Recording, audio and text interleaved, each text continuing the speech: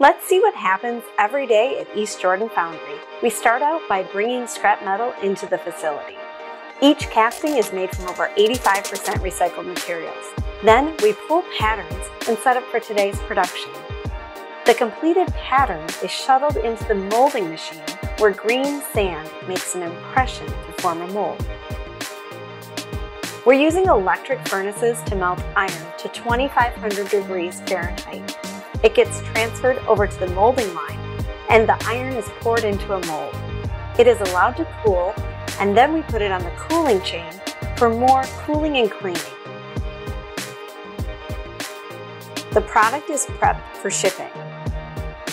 And then this product found its home in Chicago